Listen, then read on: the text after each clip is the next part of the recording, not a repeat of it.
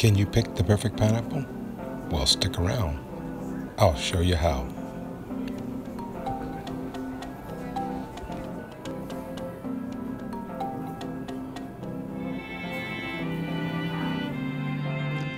Hey, welcome to my channel. I'm Curtis. Some call me Chef Curtis, others call me Curtis. I'm, you know, coach chef. I used to coach high school football and high school baseball and college basketball and love coaching. So I look at my role here as in sharing fresh fruit and vegetable tips, cooking tips as, you know, I'm your culinary coach. How's that sound?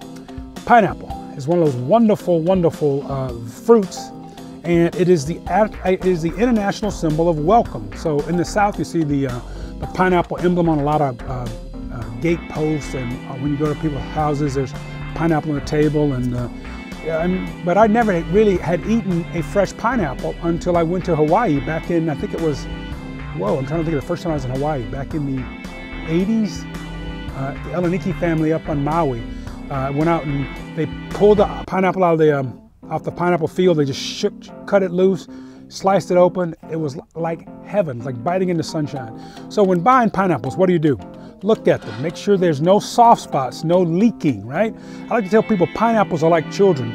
These little part here called the eyes, if they're treated bad, they will cry. So if a pineapple has been mishandled, it'll leak. So stay away from that. Now, a lot of people say you should pull the top of the crown out. Don't do that. You're just wrecking a beautiful crown.